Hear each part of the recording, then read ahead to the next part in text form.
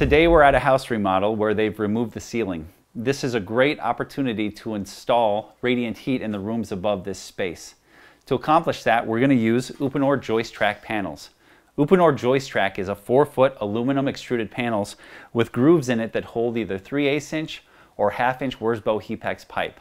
The panels save the occupant energy by transferring the heat to the space above more efficiently than a staple up method, and we're also able to use a lower water temperature than staple up methods. To install Joist Trak, simply place the panel in your desired location and fasten it in place with some screws.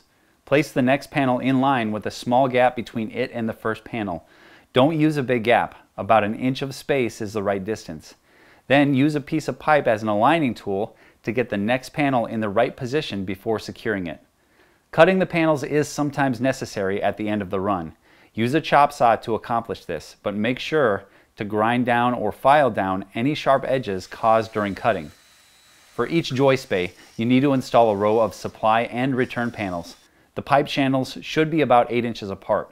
In retrofit applications, the presence of screws and nails sticking down from the floor above might make installation difficult, do your best to avoid these areas by shifting the panels slightly or by grinding the screws down.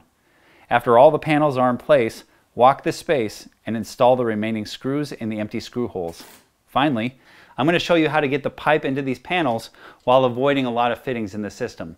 What you're going to need is an anchor point for the pipe, preferably at the manifold. You'll also need a roll of pipe or a pipe uncoiler, a rubber mallet, and a long board.